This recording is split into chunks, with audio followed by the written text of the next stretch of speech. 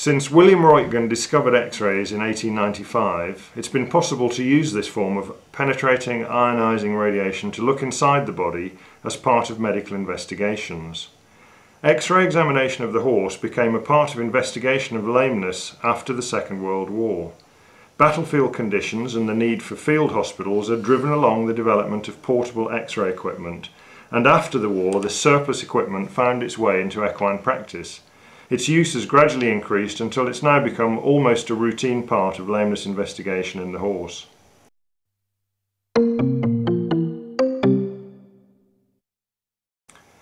In 1999, new regulations governing the use of x-rays in veterinary practice came into force, with some important changes. These regulations reinforced the 1985 ruling that manual restraint of small animals for radiography was no longer acceptable and that anaesthesia or sedation in combination with positioning aids was now required. In equine practice, because of the logistic problems and the risks of general anaesthesia, manual restraint of the patient is still allowed. There just isn't any other practical way of taking radiographs of an animal the size of the horse without the use of people, not only to restrain the patient himself, but also to hold the imaging cassette and position and control the X-ray set. The 1999 regulations also made changes to the qualifications needed to act as a radiation protection advisor, the person who advises the practice on the safe use of radiation within the clinic and on the necessary rules and regulations. It also introduced for the first time a mandatory requirement for all X-ray machines to be fitted with a light beam diaphragm.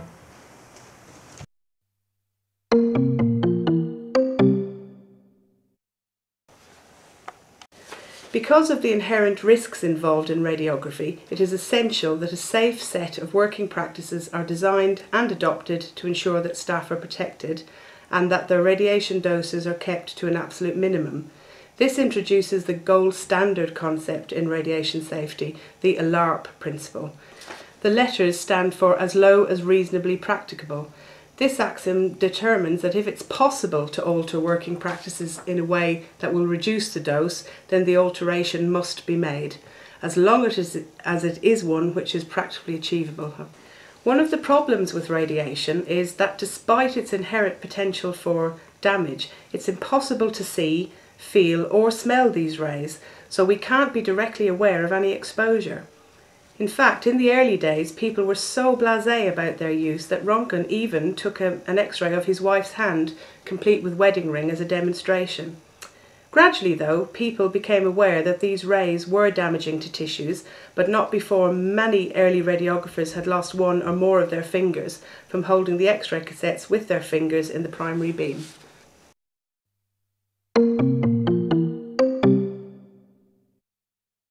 The effects of radiation are cumulative, so a small dose repeated over a long period of time can be just as harmful as one single large dose. There are two main effects of radiation damage. In the first type, called the deterministic effect, there is direct physical damage to the tissues. This can result in reddening or even death of the skin and in damage to the hair follicles, resulting in hair loss. This kind of damage is similar in concept to the direct damage we get from strong sunlight, which is also the result of burning by rays, in this case ultraviolet rays. This is a less damaging form of radiation, but one that we have to take seriously nonetheless. The second result is called the stochastic effect. In this case, the cells under radiation bombardment are also damaged, but unlike in the deterministic effect, they don't die, they're simply damaged and changed. This is usually by sublethal damage to the DNA, the cell's blueprint for life, which is kept in the nucleus. This is the type of damage that can later increase the chance of these cells becoming malignant, contributing to cancer. Or, in the same way, the sperm and eggs can be damaged in the stochastic effect, which can lead to the development of birth defects in the offspring, often long after the initial radiation exposure took place.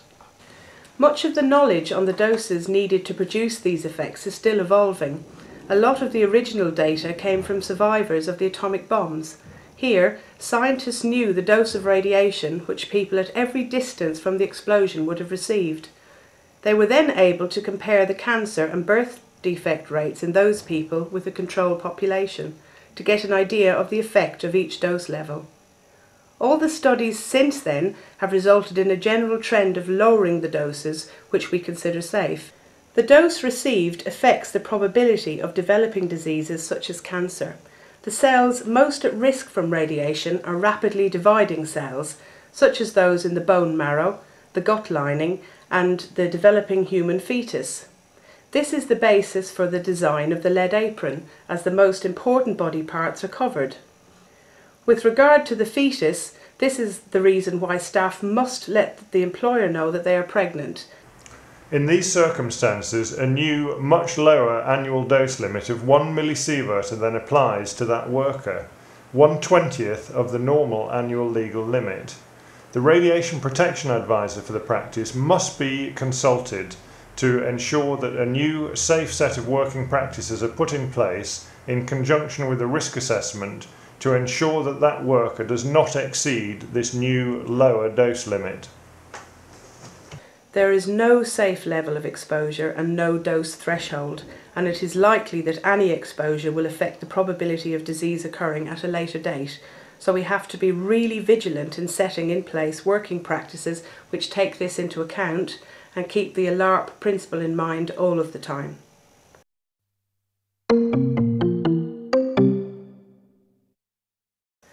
Unlike regulations designed, for instance, for the control of hazardous substances, which are familiar to all of us as the COSHH regulations, we are dealing here with something we cannot be directly aware of, and yet which is potentially damaging, and we have to avoid. So, how do we design a set of safeguards to minimise these risks? The first step on this path is to assess the potential risk from each step of the processes involved in the taking of a radiograph of a horse. In other words, to perform a risk assessment. Once the risks at every stage have been highlighted, then working practices can be designed which will minimise or even avoid these risks. These include factors like the engineering features of the X-ray machine itself, such as the lead cladding around the back of the tube head. This stops X-rays escaping from the tube head in any direction other than the path of the primary beam. Similarly, there is an aluminium filter interposed between the anode and the beam window which filters out soft X-rays. These low energy X-rays are useless for diagnostic imaging purposes but can produce extra scatter and for this reason they have to be filtered out. This is done with a simple sheet of aluminium as a standard part of all X-ray machines. These engineering features contribute to radiation protection from the outset and it's important that their integrity is checked from time to time by a skilled, suitably trained medical physicist, so make sure that your practice gets this done. We also make use of ancillary equipment like cassette holders and personal protective equipment like the lead aprons and gloves we wear to minimise the risks involved. Another problem with hazard avoidance in radiography is that there is a time delay between exposures to the X-rays and observable biological effects. For instance, the hair loss and reddening of the skin, which are symptoms of excessive exposure to X-ray, take several days or weeks to develop. Other effects on the body, such as increased risks of cancer, may even take many years to come home to roost. So, we are dealing with something we cannot directly perceive and the damage from which may not be immediately obvious. We have to remember, though, that all of this increase in possible risk of disease occurs in the face of very high background levels of cancer. The current statistics are that one in three people will die of cancer and one in eight women will develop breast cancer during their lives. In a normal, busy equine practice with a large staff, it is not difficult to see that somebody working in the unit is likely to develop, to develop cancer we have to ensure that their work with radiography has not contributed significantly to this risk. Every activity one does in life involves a degree of risk. Surprisingly, most of those activities also involve exposure to radiation, but this is the natural radiation which is around us all day, every day. Half a million cosmic rays, which originate from the Sun, penetrate all of us every hour of every day. These cosmic rays are gamma rays and are just the same as those which leave the horse during a scintigraphic examination. This is the reason why the detector head of the gamma camera has to be housed within a lead protective shield so that the cosmic rays from the sun don't hit the crystal and degrade the quality of the image. The amount of radiation we receive from natural sources depends on where we live. For instance, a person living in Cornwall would receive an annual dose of around 7.8 millisieverts. Somebody living in London, in contrast, would receive about 2.1 millisieverts.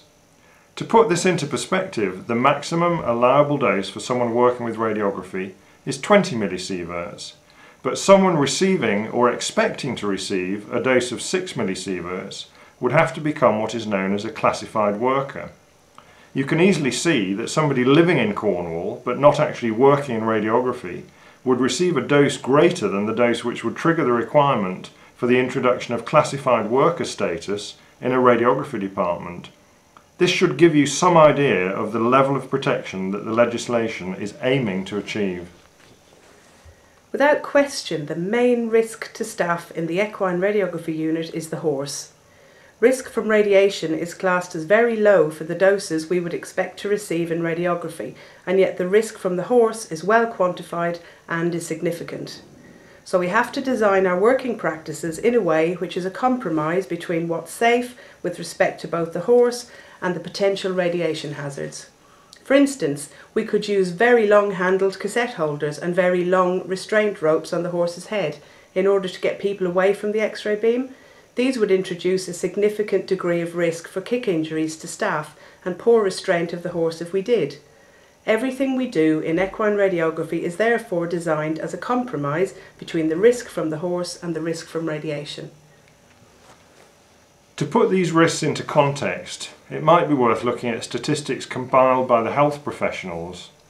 The risk of an individual person dying in any one year from a lightning strike is 1 in 10 million. From a railway accident, it's 1 in 500,000.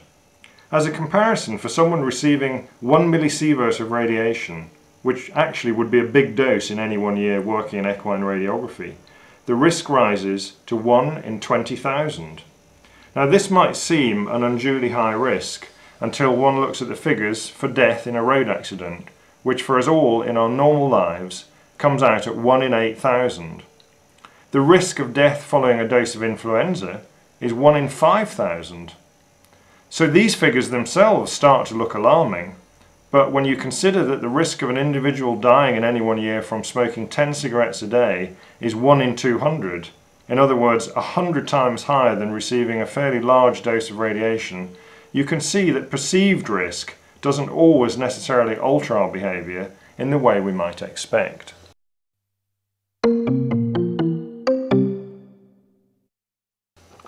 So why do we need control measures?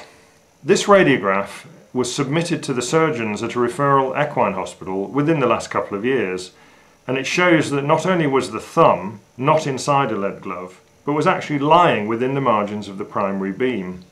Clearly, there's still a need for education and training in this area. Similarly, this picture, taken from the recent promotional literature for a digital X-ray system, clearly shows the assistant holding the imaging tablet with his arms in the path of the primary beam. One would have hoped, in the light of current legislation, that the manufacturers of this equipment would have known better the ionising radiation regulations are policed by the Health and Safety Executive, or the HSE.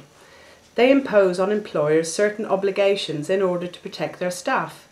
One of these obligations is to register with the HSE in the first place as a user of ionising radiation.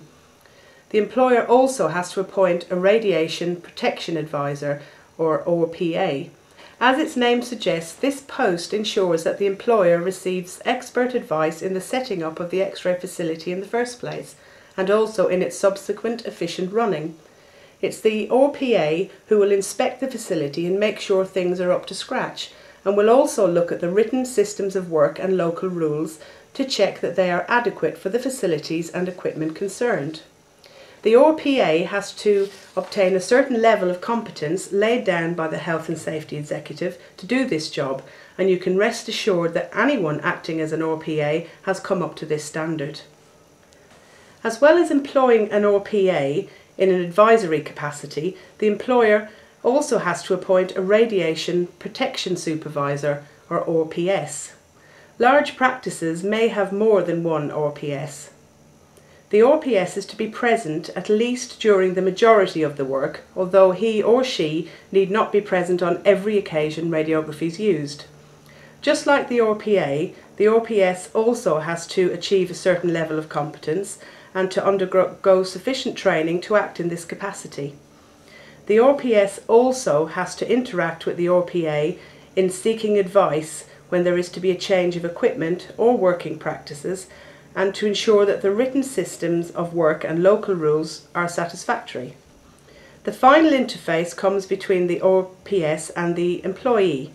It is the RPS's responsibility to make sure that employees receive sufficient training to allow them to work safely with radiation and to supervise their work on a regular enough basis to ensure that things are not allowed to drift. The final responsibility in this flow diagram rests with the employees themselves whose responsibility it is not only to read and understand all of the written systems of work and local rules, but also to report to the RPS any working practices which they feel may be unsafe, or any defect in equipment or personal protective clothing that they might have spotted. In addition, all staff are also under a legal obligation to report immediately in writing if they think they are or might be pregnant.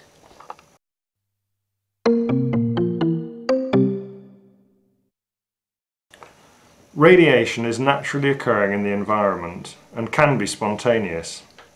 An example of this would be radiation encountered for instance as radon gas in certain areas of the country or radiation which occurs during the slow nuclear disintegration of substances like uranium which are found naturally in some rocks.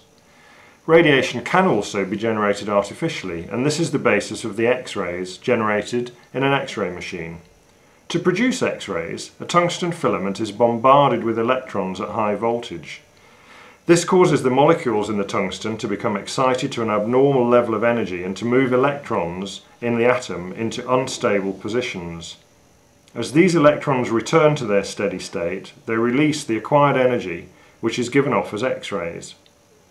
Another example of artificially induced radiation is the production of radioactive isotopes such as technetium, which we use in bone scanning.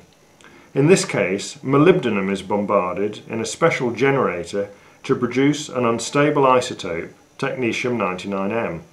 As the technetium decays back to molybdenum, it releases the energy initially stored in the form of gamma rays, and this forms the basis of the scintigraphic examination. Radiation exposure can be external or internal. An example of external radiation would be when part of the body is examined as part of a diagnostic X-ray examination. Internal radiation exposure follows the ingestion or inhalation of radioactive substances such as technetium used in bone scanning. During the radiographic examination, the X-rays are produced within the X-ray tube head. The tube head is designed in such a way that there is only one exit path for the X-rays and the remainder of the tube head is screened by lead to ensure that X-rays don't leak out in any other direction. It is now mandatory that the X-ray machine is fitted with a light beam diaphragm, which will give fairly accurate guidance as to the path of the X-rays.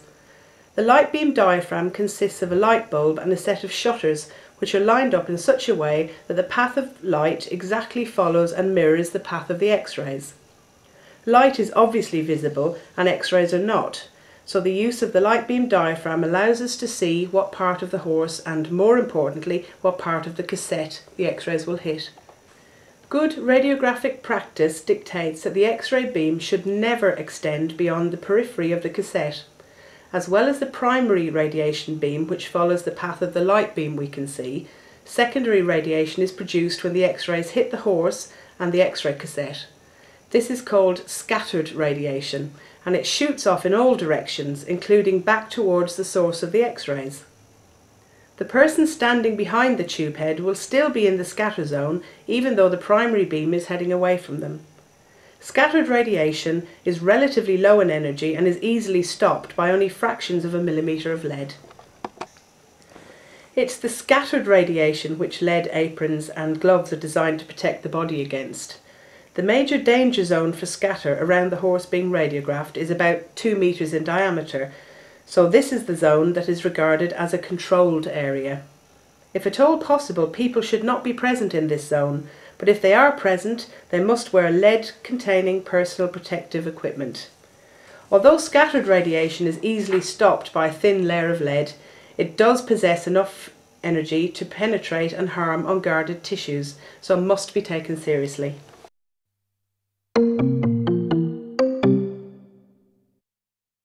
There are only four primary ways in which the radiation dose incurred in radiography can be reduced.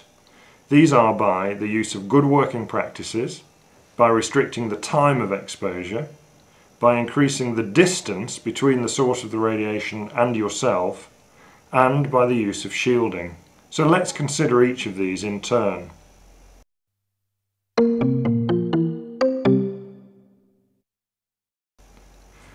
Good working practices involve the use of warning lights at the access point to radiography to make sure that nobody walks in during the examination without wearing protective clothing. Inside the X-ray room itself, the system of work should be drawn up in conjunction with both the RPS and the RPA to make sure that everyone is in the right position and that nobody is being exposed unnecessarily to radiation hazard. The local rules should also specify the correct use and storage of the personal protective equipment. The written system of work is exactly what its name suggests. The idea of this work scheme is that anybody who is new and is unused to working in the department could read the system of work and should have a good idea of how they should behave during radiography. All staff members should therefore have read the system of work and understand it in full before commencing work in radiography. The system of work should include the detailed arrangements for all of the radiographic examinations which are going to be undertaken. They should include advice on safety features and warning devices used, and notification of who is both the radiation protection supervisor and the radiation protection advisor for the practice. The system of work has to be on display at all times in the X-ray facility along with the local rules and pinning a bunch of papers up by a drawing pin in one corner just isn't good enough. This information has to be displayed on a notice board in a way which makes sure that it can be easily read. The local rules, again, are exactly what they sound like. These are rules drawn up in conjunction with the RPA and specific to the local site involved. It is not possible to have a generic set of local rules for all X-ray facilities as the circumstances of each room the architectural arrangement of the walls, the direction and path of the primary beam, and the access points to the room are going to differ from place to place. It is vital, therefore, that local rules are just that, in other words, local to the situation. Good radiographic technique also feeds through directly on radiation doses received by staff. The light beam diaphragm should be used to collimate the primary beam so that all four borders are visible on the cassettes. This ensures that the primary beam does not continue to diverge outside the borders of the cassette and hit staff members. Be fussy about positioning. Retaking a radiograph because the positioning is incorrect effectively doubles the radiation hazard for that view, so we should avoid retakes if at all possible. Adequate restraint of the horse is important here to reduce unwanted movement, which can be a major source of the need for retakes. The horse should be restrained by a bridle when brought into the radiography room. A head collar and rope is just not sufficient or safe. If you're going to radiograph the head, then a soft rope head collar, which won't show on the final image, can be fitted after sedation of the horse and removal of the bridle. Almost always sedation will be required for safe equine radiography. The dose of sedative involved can be small, and on rare occasions it might be possible to carry out radiography without sedation, but you should seek advice on this from the radiation protection supervisor on an individual basis. Bear in mind that the major source of risk in the radiography room is the horse. Great care should be taken before thrusting cassettes into the area inside the hind legs. You should acclimatise the horse to touching by repeated stroking of the intended final position of the cassette before you position the cassette. Also be aware of the fact that handles and extensions on cassette holders, whilst removing you from the risk of the primary beam, can increase the risk of your getting kicked by inadvertent contact with the horse's legs. Radiography takes place in what's known as a controlled area. Again, the name tells all. And that the sole basis for the controlled area is that access to the area is actively controlled. The controlled area shouldn't form a thoroughfare therefore to any other site. It should be a dead end, a cul-de-sac with a direct access door which is marked with the radiation trefoil and bears the warning light for when the tube head is activated. For cleaning and maintenance of the room, the controlled area is no longer considered a controlled area when the main power switch is turned off. A controlled area is defined as an area in which staff will have to take special precautions and work in specified ways to avoid exposure to radiation. Any area in which the dose rate might reach or exceed 7.5 microsieverts an hour has to be designated and clearly identified as a controlled area and should be identified to the rest of the practice by the use of suitable warning signs. In the field, a temporary controlled area can be set up for radiography and this zone needs to be marked by the use of a portable sign warning people not to walk into the area during a radiographic examination. Where a horse is stabled in wooden stables, the wooden walls are no barrier at all to the x-rays, but they do prevent us from seeing if anyone's in the path of the x-ray beam and so the beam shouldn't be directed at these walls. In this situation, it's much safer to take the horse out of the stable and to carry out radiography in the open air. Here the beam can be directed into open space which can be kept under continuous visual supervision throughout the making of the exposure. The radiation risk itself diminishes significantly with increasing distance from the tube head and outside a zone approximately 20 metres from the tube head it would be negligible at the exposure factors used for equine field radiography. In the clinic, the controlled areas usually consist of a designated radiography room. The features of this room should include effective methods of restricting entry, construction of the walls of a material which will not allow escape of x-rays during radiography, warning lights at the entrance and warning signs on the doors. Everybody working in the controlled area must be monitored for possible radiation exposure by some sort of detection badge, which we'll talk about later. A suitable system will be advised on by the RPA. The written system of work and local rules should be kept under review and the date of each review should be clearly marked on the rules to show that it's been done. It's suggested that this is carried out annually as a routine. In the event of a change of equipment or procedures, then the review should be more frequent and should be done in conjunction with the RPA. All X-ray sets, including small portables, have to be serviced annually, and it's important that the service records are kept for inspection. In addition to these routine maintenance checks, the engineering features of the machine must be checked by medical physicist at appropriate intervals to monitor for tube head leakage your RPA will advise on the frequency of these checks, but every three or four years is usually sufficient. The records of both the annual maintenance and the engineering feature checks must be maintained in the practice for inspection.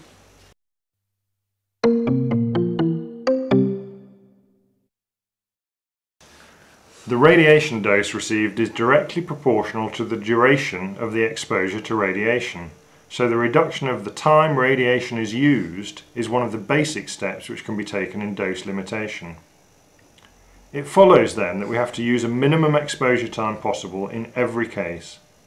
This can be achieved by the use of modern, very fast rare earth cassettes when using film radiography or even the use of digital radiography. Careful radiographic technique avoiding repeat exposures would also limit the duration of exposure so that only those who have received thorough training in radiographic technique should be put in charge of the tube head. This should ensure that all radiographs obtained are of diagnostic quality. Do take care with patient preparation.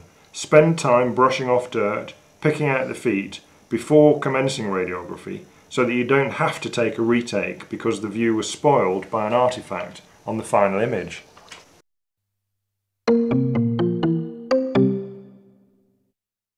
Ionizing radiation follows the inverse square law. This means that doubling the distance between the point source and a staff member reduces the dose rate received by that person by four times. Increasing your distance from the primary X-ray source as well as from the area under investigation is always a basic tenet of good working practice. This increase in distance can be achieved by the use of freestanding cassettes, holding blocks for areas near the ground such as feet or fetlocks, or cassette holders with long handles in the more proximal joints. The areas of the horse where there is a thick soft tissue component such as the shoulder, stifle and back produce more scattered radiation than the distal limb and freestanding cassette stands should be used if possible so no one needs to hold the cassette. The stifle probably presents the most difficult site as the potential danger from the horse increases given the position of the X-ray cassette and cassettes much larger than the image required should be used here in conjunction with tight collimation of the beam to get hands well away from the primary beam. The groom holding the horse's head should also make sure that just prior to exposure they take a step away from the horse to increase the distance from the source of scatter. For radiography of the hind limb, it's paramount, again, just prior to the exposure, that the radiographer checks that the horse holder is not standing in the path of the primary beam Using combinations of cassette holders and careful positioning of staff, it's possible to radiograph all the areas of the horse in comparative safety.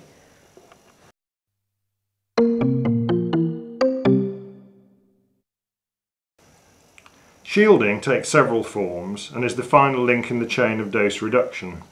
The X-ray tube head, as we've already discussed, is surrounded by lead shielding so that only the intended beam, defined by the extent of the light beam diaphragm, escapes from the head. In addition to this, the soft radiation produced, which is of no diagnostic value, is filtered out by the al aluminium filter we've also described. The primary beam should only be pointed at a target wall which offers complete absorption of the radiation. Concrete block and brick is satisfactory for these purposes, but the lighter breeze blocks often used in building and construction are not, and they'll allow significant passage of X-rays. The RPA should be consulted during the construction of any radiographic facility.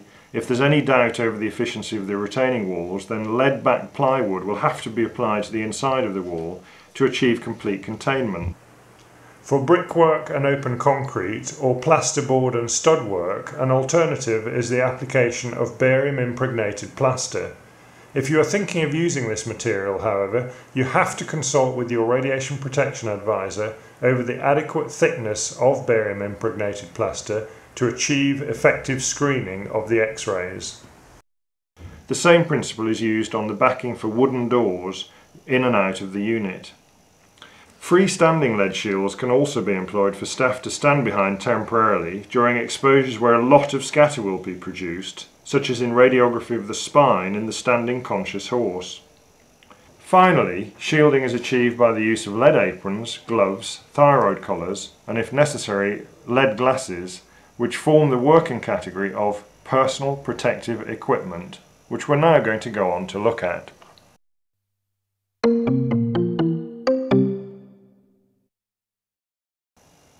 The lead aprons and gloves which we wear within the controlled area are only designed to protect against scattered radiation and offer little protection against the primary beam.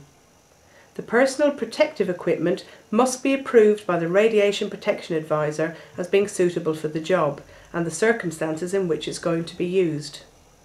The RPA has to be consulted over this and will decide on the thickness of lead equivalent needed to offer enough protection. Gowns should be worn by everybody within the controlled area. Gloves should be worn by anyone within 2 metres of the primary beam who is supporting a limb or using a cassette holder. Thyroid collars are also now light and comfortable and should be worn by everybody who has to stand within 2 metres of the primary beam. Although lead goggles are theoretically of value in protecting the eyes, they're quite heavy and cumbersome to wear and not popular with staff. An individual risk assessment carried out in conjunction with your RPA may well help in deciding whether or not these are necessary. To do this, carry out a dose assessment using an extremity dose meter attached to the outside of the glasses for a two month period. The dose you record will give you an idea of whether lead glasses would be helpful or not. As with all dose monitoring, the records of this assessment period should be retained for at least four years. To make sure that the personal protective equipment is protective, it's essential that the gowns and gloves are examined for signs of damage on a regular basis. The gowns should be examined visually for splits and tears at least four times a year and a written record kept of these examinations. This is quickly and easily done if the gowns are identified and numbered, ready for checking. These written records have to be kept, for, available for inspection, for at least four years. In addition to these quarterly visual checks, the gowns have to be tested for X-ray leakage at least once a year. This is done by laying the gown down over a large radiographic film and carrying out a test exposure. Do remember though that the gowns don't offer protection against the primary beam, so you'll expect to get an image produced on the cassette. What you're looking for is areas of increased penetration which may signify splits in the lead rubber within the gown which you might not see because of the protective plastic covers. X-ray gowns and gloves should be stored in a way which doesn't encourage splitting and damage. The gown should be hung over specially designed hanging rails and should never be folded. The gloves should be stored in a way which allows air to circulate within the glove so that the sweat which inevitably accumulates during working dries off. This will prevent the rubber from perishing and splitting. Radiographic records of the annual gown X-ray leakage test also have to be kept for inspection, again for at least four years.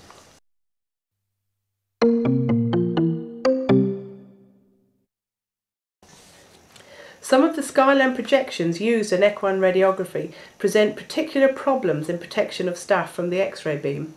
Most of these require extremely careful collimation of the primary beam as well as methods of limb support which will remove staff from the immediate vicinity of the site under study.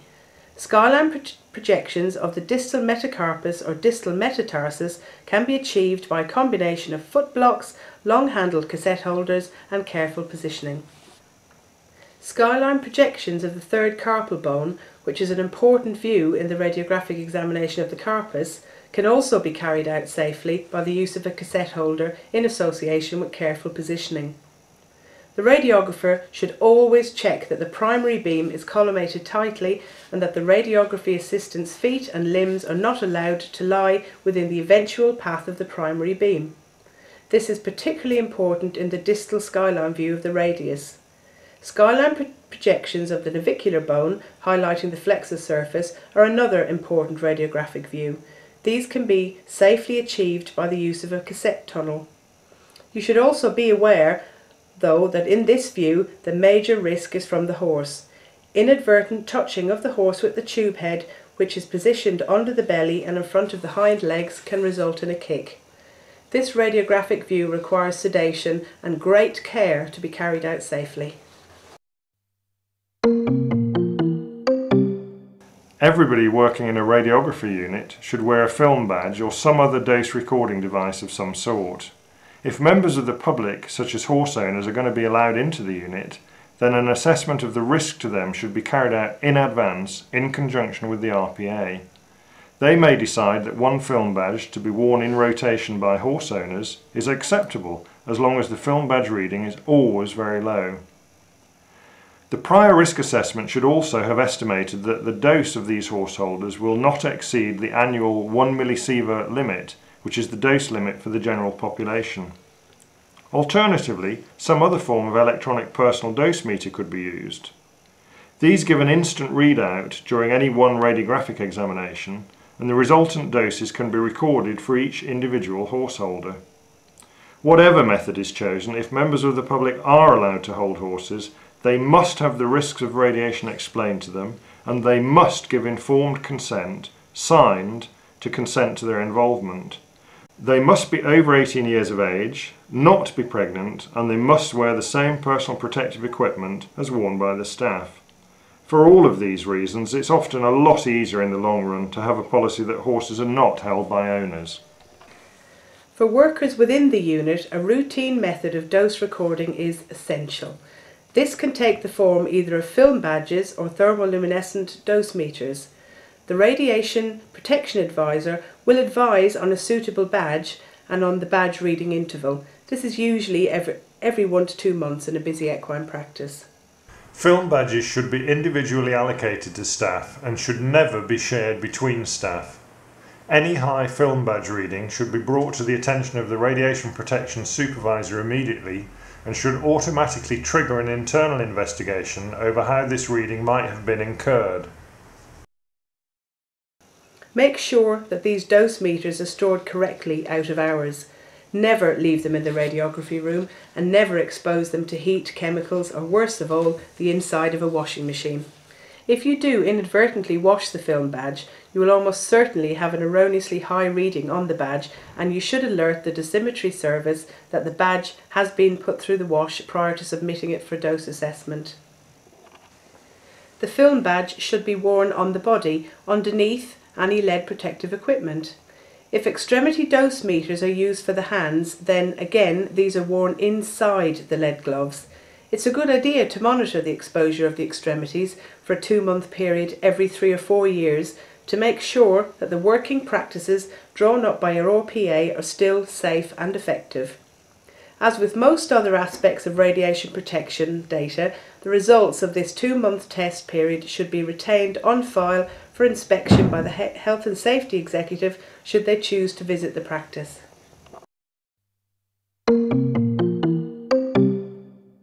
One of the duties of the employer outlined in the 1999 regulations is to ensure that everybody working within the radiography unit is adequately trained for the job. They also have to be aware of the risks and hazards involved and, more importantly, how to avoid them. Staff training is therefore absolutely mandatory. Nobody should be asked to or expected to work within a radiography unit without this guidance. Training can take the form of a talk from the radiation protection supervisor or from reading the written systems of work and local rules or even from watching a training presentation such as this one. But the most important aspect is that staff truly understand the risks involved and have a good working knowledge of how to avoid these risks. Every aspect of the training should refer back again and again to the basis of the ALARP principle. That is, if it's possible to reduce a dose by taking any practicable action, then the action must and should be taken. However, once all of the steps are in place to minimise the dose received by staff, then rotation of staff within the unit is a sensible next step. This ensures that the tiny end dose, which is not reducible any further, will be spread between as many people as possible, ensuring that each individual person receives an even smaller dose. It is important though to understand that staff rotation should never be used to artificially lower what would otherwise be unacceptably higher film badge readings if they'd occurred on an individual staff member. In other words, once the minimum possible is achieved, then rotation is a practical and sensible way of making sure that the doses are even smaller, but it should never be the main method of achieving low film badge readings. Whatever form the staff training takes, it should cover the safe working practices which form the basis of the written system of work and the local rules. It should also instruct you on the use of the positioning aids available in the radiography unit and how to use these aids to make sure that you are well away from the danger zone. It needs to cover your use of personal protective equipment, how to store this equipment, and how to check that the equipment is not damaged. It needs to inform you of control measures to take in the event of an emergency, such as malfunctioning of the tube head or accidental damage to the head, for instance following a kick from a horse. The training programme should go through in detail the ALARP principle and make sure that everyone is aware of the way in which potential doses are lowered and it should spell out in detail the basic tenets of radiation protection again and again which are good working practices and local rules and time, distance and shielding. There are a few duties which actually fall on the employees themselves. These include making full and proper use of the personal protective equipment provided, reporting any defects that they've seen in this equipment or in the x-ray machines being used to the radiation protection supervisor, and storing the personal protective equipment properly after use so that it doesn't get damaged. They should also cooperate on the proper use of dose meters and their regular return for dose reading. Staff should also be aware of the fact that they must report any, anything they see which may be dangerous, both in terms of working practices or damage to equipment, to the RPS immediately. As we've said before, female employees must notify the RPS in writing as soon as they are aware that they are, or even might be, pregnant. Scintigraphy involves its own special hazards because of the open nature of the radiation source. The potential for inadvertent contamination is obviously large when the radioactive chemical looks just like water and is easily spilt. Again, there's no way of detecting that radiation has been spread around the premises without the use of specialised equipment, and we'll go on later to see how this equipment should be used correctly. Unlike the situation with the use of diagnostic x-rays, where the risk is purely from an external, easily identifiable source, when using liquid isotopes there is the added risk from the inhalation or ingestion of the isotope. Once inside the body, the isotope continues to decay, leading to a potentially prolonged exposure time. For this reason, we must always wear disposable gloves and protective clothing when working with isotopes or contaminated bedding. Eating, drinking and smoking in the working environment in an equine scintigraphy unit should also be strictly forbidden. In terms of dose reduction, the principles remain exactly the same as those for X-rays. In other words, we depend exclusively on time, distance, shielding and good working practices to limit staff exposure. So let's now look at each of these in turn. Isotope handling presents the biggest risk period for exposure because all of the activity is contained within the syringe and is close to the staff member handling the isotope. For this reason, confident and experienced personnel only should be used for injection of the horse. Try to conduct the injections in a slick and practiced routine to keep the time when the syringe is handheld to the minimum. In the scintigraphy room during the scan, you should try to keep the scanning procedures as short as possible and develop a slick and efficient way of carrying out a systematic bone scan on the horse.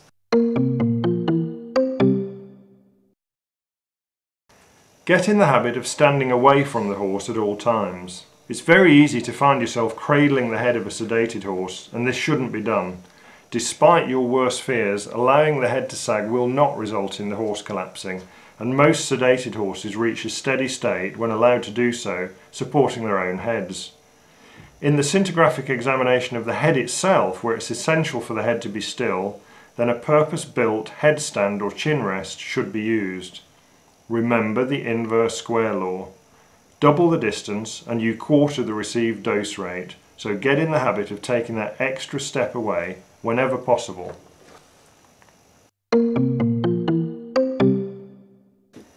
The isotope usually arrives from the hospital radiopharmacy contained within a lead pot. Isotope should be drawn up through a perforated vial cap using a lead syringe shield so that the dose received by the hand is minimised. It's also good practice to use a syringe which is at least double the size of the intended dose, so that the fingers at the far end of the syringe are as far away from the bolus of isotope as possible. A lead apron should be worn by the horse handler to reduce the body dose of radiation. Lead aprons can be worn by others in the scintigraphy unit, but these staff are usually at a much greater distance from the horse and may choose not to wear personal protective equipment. You should go through your intended protocols with your RPA and seek approval for this in advance. Handling of isotopes should be done in a secure area, which is classified as a supervised area. In contrast to a controlled area, a supervised area is one where the received dose rate would not normally be expected to rise over 7.5 microsieverts an hour, but in which supervision is necessary to make sure that this doesn't happen. The radiopharmacy should be a dead-end cul-de-sac room which is not accessed for other purposes, but if other doors do access into that area then they should be fitted with bolts on the inside so that these doors can be secured prior to handling of isotopes. Before the vial is open, you should put on protective overalls and disposable gloves. The injection tray should be prepared ready for use so that once the isotope vial is opened, delays are kept to an absolute minimum. Disposable bench coats should be used on the workbench so that if any isotope is spilled, the bench coat can simply be rolled up, bagged and labelled with a date. This can then be left stored in a locked metal cabinet somewhere until normal disposal in the refuse is safe for instance about a week later. Before disposing normal refuse, the activity level of the low level waste should be checked and should be no more than twice the background. The person drawing up the radioisotope should wear an extremity dose monitor on the wrist underneath their rubber protective gloves to make sure that the working practices they're using are not resulting in excessive extremity doses.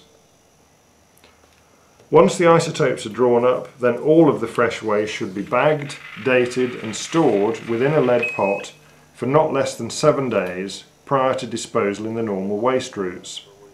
Again, get into the habit of checking the dose rate from this waste prior to disposal. Only when all the waste has been disposed of in the storage receptacles should, should you remove your disposable gloves and these are stored in the same lead pot. You should then put on a fresh pair of gloves so that when you're monitoring the bench area you don't contaminate your hands again if spillage has occurred. To monitor the bench area you will require two distinct types of radiation monitor. The first is a contamination meter. This is a photomultiplier tube which is extremely sensitive to radiation but gives you no indication whatsoever of the actual amount of radiation involved. Its job is simply to seek out tiny amounts of radiation and magnify them enormously so that you can be aware of where they are. Once the spillage hotspot has been found, then the radiation dose meter should be used. This instrument has a fairly long lag period before registering a reading. It is therefore useless for finding contamination, but its main purpose is to measure the dose rate of radiation given off by the hotspot. If the dose is more than twice background, and certainly if the dose is above 7.5 microsieverts an hour, then steps have to be taken to reduce the contamination. Before you do this, you should put on a complete protective clothing outfit. Use a proprietary band of a decontamination fluid to decontaminate the area. Remember that these products will only loosen the isotope from the surface and the spillage will still have to be mopped up in absorbent paper toweling or cloths which themselves will have to be stored to allow sufficient decay for safe disposal in the normal refuse. Once the isotope is in the horse, the stable containing the horse becomes a controlled area as the dose received in the vicinity of the horse could well exceed 7.5 microsieverts an hour. Access to the stable should therefore be kept to an absolute minimum and feed, hay and water put in through the door rather than being deposited in mangers at the back of the stable. Anybody entering the stable must wear overshoes, an overall and disposable gloves, which should be taken off immediately after leaving the stable. The horse should not be groomed or mucked out for 48 hours following injection of isotope. Once the bedding is removed from the stable, it should be stored on site for at least a further 24 hours or until the radioactivity level is less than twice background, before being mixed with a large volume of non-radioactive waste for eventual disposal in the normal waste routes.